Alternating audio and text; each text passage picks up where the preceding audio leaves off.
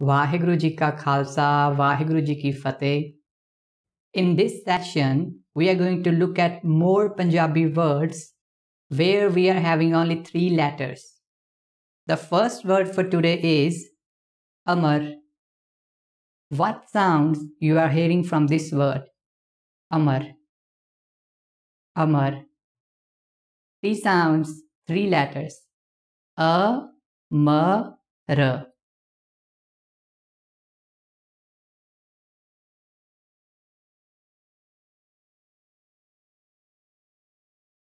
Amar, right?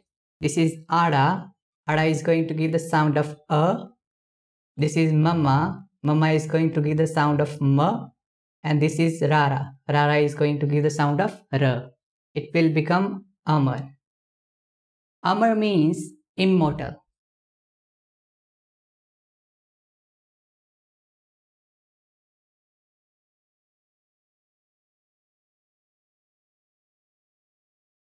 Second word is Karaz. K, R, Z. K, R, and Z. Karaz means loan or you can say debt.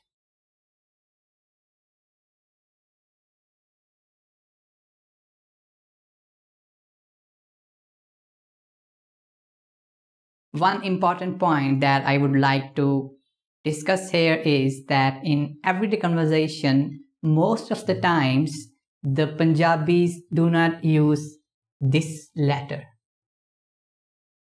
Instead of saying karaz, they will say karaj.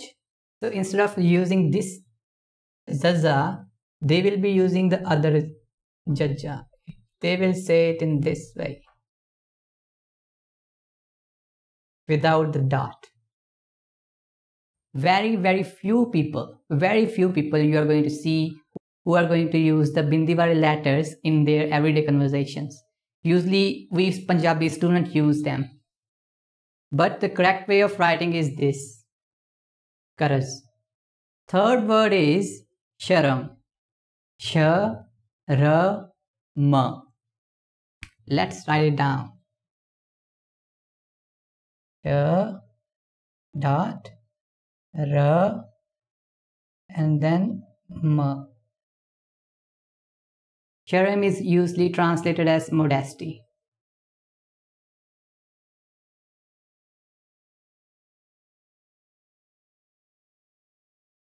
So in the second word, we discussed that Bindi wale letters, right?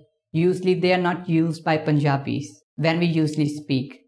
But when it comes to Sasse Per Bindi, right, that letter is used and you cannot replace Sasse Per Bindi with a Sassa. Let me show you.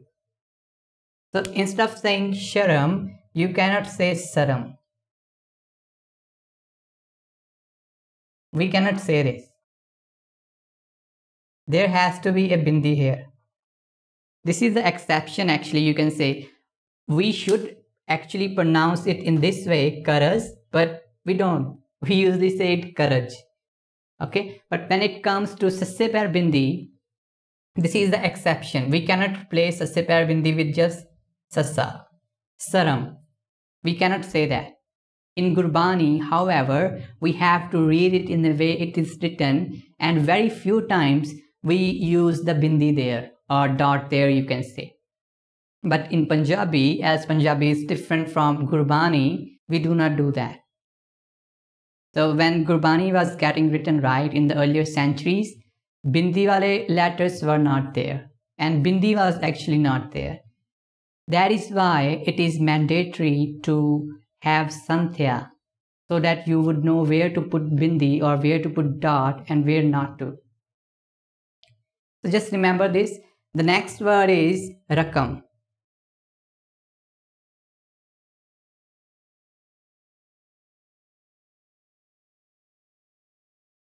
Rakam means money.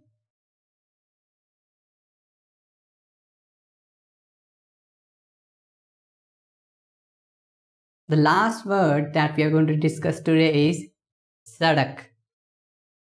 What letters we are using here. Sadak. Sa.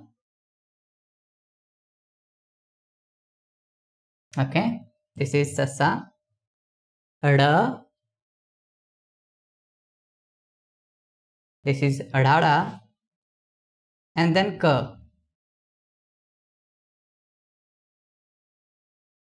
Sadak means road.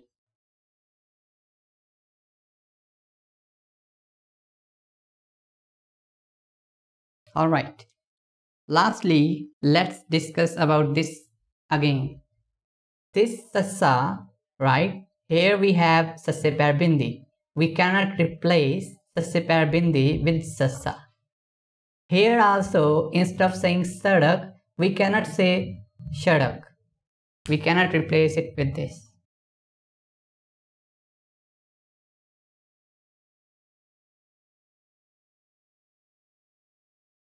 We can do that. Don't worry about these things. We will learn them in more detail when we reach at level 5.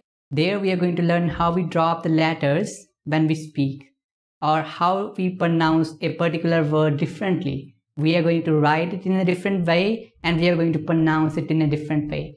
These are some advanced topics that we will learn later, but just for the time being, remember this thing that we cannot replace sasa with sasya bindi. But when we speak, usually other bindi wale occurs, we can interchange. Like instead of zaza, we can use jaja. Anyways, if you still have some questions, please let me know in the comment section below. Vaheguru Ji Ka Khalsa, Vaheguru Ji Ki Fateh.